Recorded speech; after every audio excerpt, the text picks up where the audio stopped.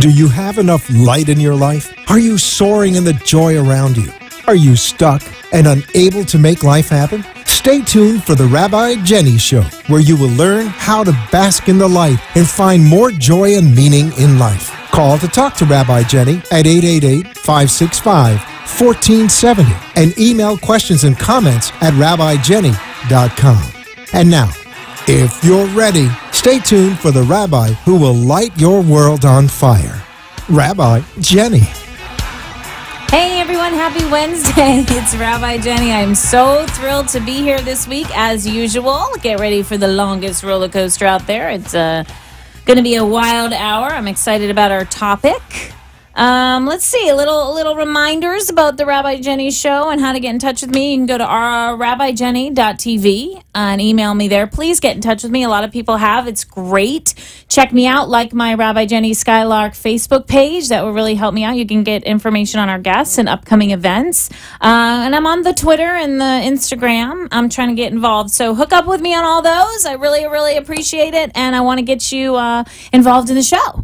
So let's get started. And we always start the Rabbi Jenny show the same way. Uh, with that is with the two main ideas. I want you to take these home. I want you to make these a part of you. I want you to own them. I want you to quote them. And I want you to tell as many people these two main ideas. And the first one is this that the world is happening for you, not to you. This is very important. Please take it into your heart. When I say it, I feel like I should could, could say it the entire hour, and that would be a great show. That the world is happening for you and not to you.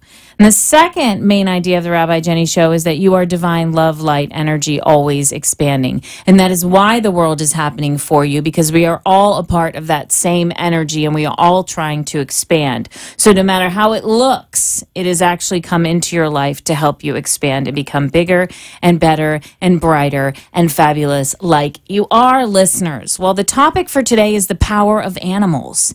And this is very important and sacred topic to me because it's actually uh, the how my real spiritual journey began was through animals. And before we talk about Noah, which is the part of the Torah that we're going to talk about, um, I want to talk to you about what I think spirituality is. When I teach people spirituality, I have a very uh, specific way of looking at it. I'm not sure who I took it from or which teacher of mine. So if, if it was yours, please own it. I, I have no problem with that.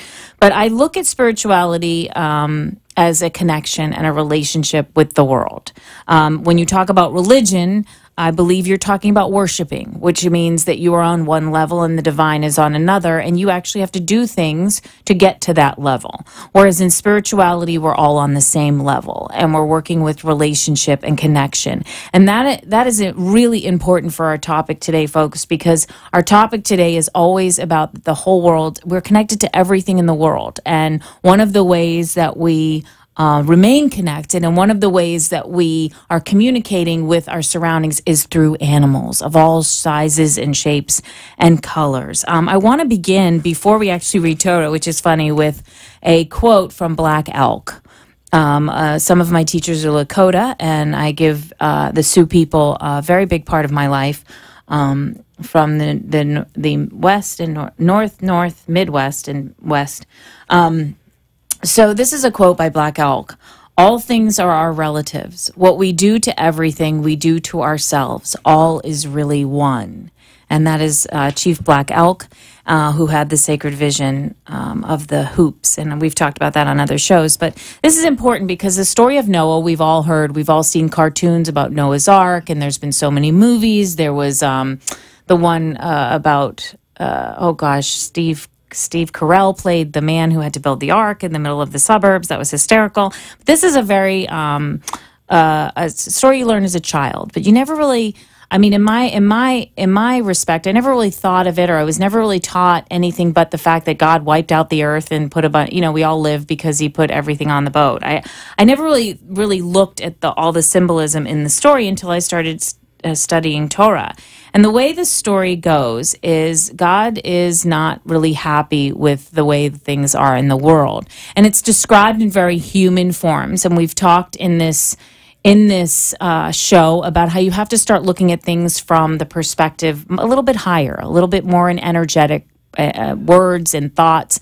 And if you think of God as energy um, and you think of God as being unhappy, what you would want to think of is the energy was unbalanced. And that's the way I want you to think of this that the energy of our earth, our Mother Earth, was unbalanced. Something was wrong. Something wasn't even. Something wasn't in harmony. Uh, the sacred people of the Apos in the Andes Mountains, they talk about being in Ayni, in balance. Jewish mysticism is all about being in harmony and balancing all of the wheels that keep your body going. So there was something out of balance going on here. Instead of thinking that God was mad, I like I really I really want to pass that on to you because you can lose the interpretation, you can lose the the magic and the beauty in a story if you're so busy thinking that there's something to be ashamed of. And and that just closes our minds altogether. So let's just say the world is out of balance. And so somehow this man Noah is recognized to help with this balance. What's interesting about Noah, which I never noticed before, is that Noah had three sons, which I knew, but I never noticed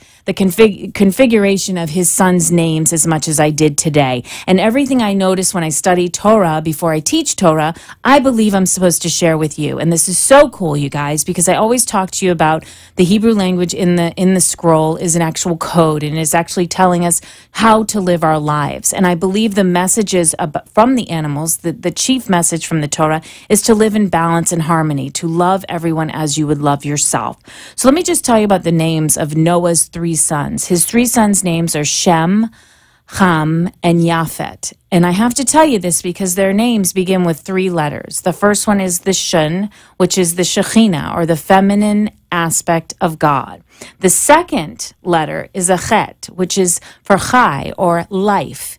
The third letter is Yafet for the son, which is a Yud, which is the Yud for Yahweh, or Adonai, which is the male aspect of God. So, if you look at the order of their names, you see that when the feminine, Shem, is balanced with the Yud in Yafet, you can have life, which is Chem.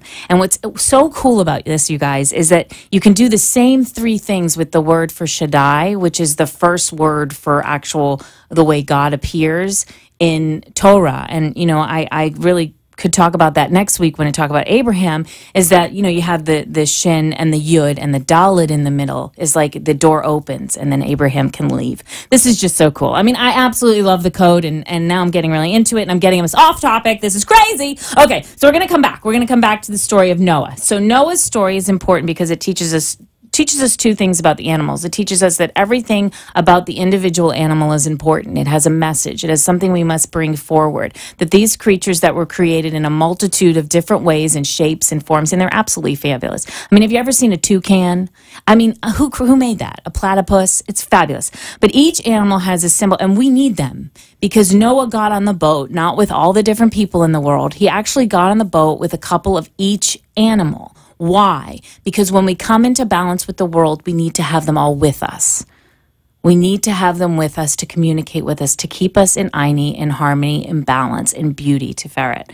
So, what's cool about this story is it shows us that you must pay attention to the animals. The first way it shows us is that he doesn't make the ark out of a tree. Or, well, he makes an ark out of a tree, of course, but he makes an ark out of a very specific type of wood. And the way it is described is not by the name of the wood or the tree. The name it is described, it's gopher wood. It's actually the wood of the gopher. Now remember, I'm trying to teach you that animals are always talking to you, that they each have symbols. What do we know about a gopher? Well, we know gopher on the love boat if you were born in the 70s and or lived in the 70s. But you also know like the gopher at work. He's the guy you send out for everything. The gopher represents preparation or gathering. So it's so beautiful that in the beginning of this story, we're not making it out of any other kind of wood. We're not even making it out of beaver wood or any other kind of animal that might represent building. We're making it out of this preparing. We're preparing, we're gathering, we're getting ready for the balance, okay? And then he loads on all the animals and you know there's so much more in this story, but we're going to focus on the animals this this year. Next year maybe we'll talk about the the um, dimensions of the actual ark itself. I, I couldn't tell you. Um, so what happens is, is we know that all the animals go on and then for like seven seven seven 40 days you know there's lots of numbers in there and and and we get flooded. Uh, the earth gets flooded and they're on this big ark and you have noah and his family and his three sons. Remember the balance of life and his wife and some other things and all these birds and all these different clean and unclean animals and and then all of a sudden uh, the flood is over. Now, what happens again after the flood is Noah doesn't just look around and say, hmm, are we ready to start now? That's not how it happens. The message in the story of Noah is about the animals, that the animals around us have a sacred purpose and a meaning. The first animal that he sends out is a raven. Now, if you know anything about the mythology of Raven, they represent magic, but they also represent the absorption of light for the safety of life. There's so many myths about the raven diving down, originally white, and it dives down and absorbs everything, and that's how it changes its colors. And he sends out this shape shifting raven. He sends out this thing to, to, like a signal. It's the first bird that comes out, but we don't get to we don't get to do anything in, when the raven goes out. Like the raven has a whole different meaning. And then when the raven comes back, he sends out a dove. And when everything is signaled from the dove that everything is okay, and the dove, as we all know, signifies peace and prophecy and all love and, and, and harmony. And, you know, when you see a dove, you're just, oh, dove. Um, and, and so after this dove comes back, we know that we're in harmony, we're in balance, you know. And what's so interesting is the raven is black and the dove is white. And that's balance. This is this idea of harmony and balance, and that in order to be in balance, we must we must really recognize that we are connected to the animals, that they are an important part of our life. I want to read some a quote. Um, uh, Pythagoras, we all know who he was, mathematician, said that animals share with us the privilege of having a soul. And I do not believe that anything that happens in my day is random. Something that uh, I practice every day is I meditate and ask for an animal. You know, this started almost 20 years ago that I started doing this out of nowhere. And I started to ask to learn about the animals, uh, read their qualities, because when you start to become spiritual, you start to start noticing your world. So, listeners, the message today, and we have such a fabulous guest, is to listen and look at your world. Oh, I have another. Okay, lots of people. If you've ever read The Tao of Pooh by Benjamin Hoff, he says lots of people talk to animals, but not very many listen to them. That's the problem. Because they're here. You know, you didn't just run across that caterpillar today for no reason. That caterpillar represented good luck, new birth, something coming into your life.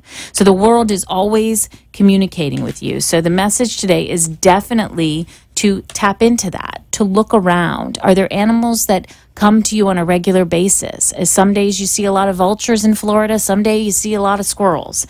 There's an absolute reason for this. And how wonderful to continue the idea that the world is happening for us, that we're never alone, that we're actually working with the entire planet to remain in balance, and we're always getting hints and clues. I have literally noticed that when my son and I drive in the morning, we both notice different animals. Now, I can tell you, we're in the same car. We're looking out at the same terrain.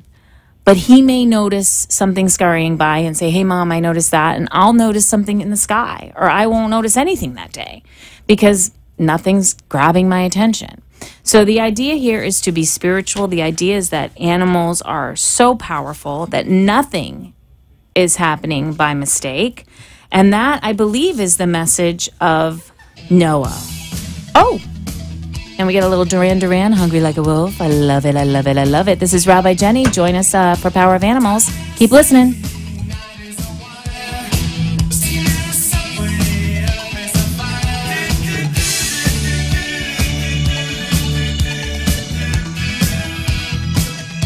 The after school hours between 2 p.m. and 7 p.m. are when millions of children go home alone or are without adult supervision. Statistics have shown that during this time, gang involvement, teenage pregnancy, and drug use begins. For the past 15 years, For the Children Inc., a place where children come first, has been a pioneer in providing quality after-school programming for underprivileged youth aged 5 to 18 in Palm Beach County. Our children are our future. To ensure their success, they must have equal access to quality educational, personal growth, and leadership tools. For the Children Inc. provides them all. Donate now to For the Children Inc. at www.forthechildrenfirst.org. This public service announcement for For the Children Inc. was brought to you by the law offices of Manjula Caladini, Esquire, concentrating in immigration law. www.immigrationassociates.net. Hi, it's Rabbi Jenny from The Rabbi Jenny Show. Are you planning a wedding, baby naming, or bar bat mitzvah? Have you recently adopted a pet? bought a new home, or opened a new business? Do you have an important anniversary coming up and would like to renew your vows? Have you recently lost a loved one and need some compassion and care through this process? These are some of the many life events that touch our lives. It is at these moments that we need a special person for guidance and compassion and care to officiate and guide us through those moments. Call me, Rabbi Jenny, at 561 346 8207 to guide you and officiate these life events. 561 346 8207. Rabbi Jenny, for personal compassion and care and loving guidance for the important events of your life. Are you or someone you love suffering from a substance abuse problem? Have you tried many different ways to heal and rebuild your life and are finally ready for a solution? At Bliss Recovery, there is a solution. At Bliss Recovery, one examines foundational issues and is guided by talented, qualified professionals to rebuild one's life. Learning coping skills in a supportive environment, clients of Bliss Recovery rebuild their life with increased self-esteem, awareness, and purpose. At Bliss Recovery, one is awakened to joy and connection to the world. Bliss Recovery, building lives, spirit, and soul. Find the solution to your substance abuse problem and contact Bliss Recovery now at 844 84 Bliss or go to blisstreatment.com. Bliss Recovery, building lives, spirit, and soul. You have been listening to Rabbi Jenny, who asks, Are you ready to bring more light and love and joy into your life? A spiritually uplifting show that will change your world. Call in at 888 565 1470 or email at rabbijenny.com and share your thoughts with Rabbi Jenny.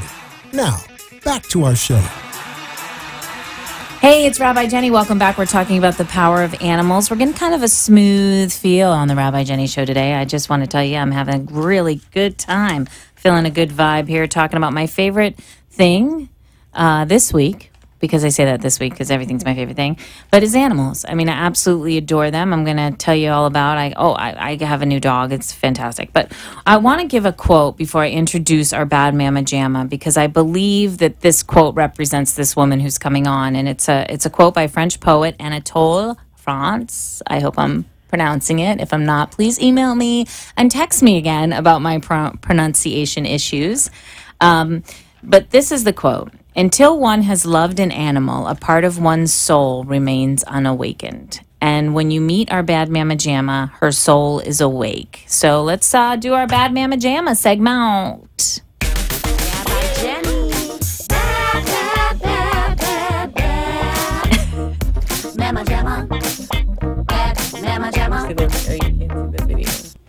Hey, we are here with Diane Fra- Fraser, right? Diane Fraser, yeah. Fraser. Okay, Fraser from Stray Aid, Tell, um, Stray Aid and Rescue in Broward County. Um, and I met Diane through a friend of mine. We were kind of linked together so she could come be on the Rabbi Jenny show.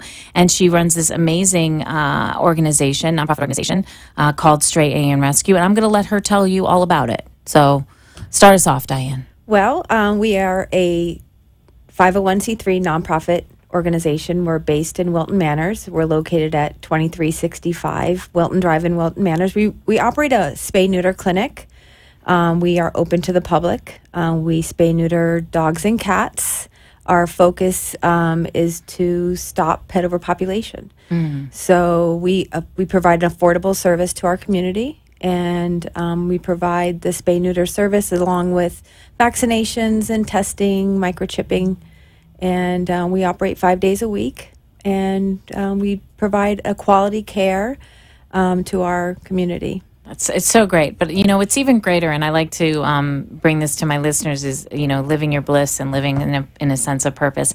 Tell us, Diane, how you started Stray Aid. Because I know a little bit of the story, but they need to know it. So, Well, um, you know, I started out, you know, I, I'm an animal lover and I've had dogs and cats my whole life. And, you know, going into the shelters and seeing the animals that are that are living in the shelters and um, just community.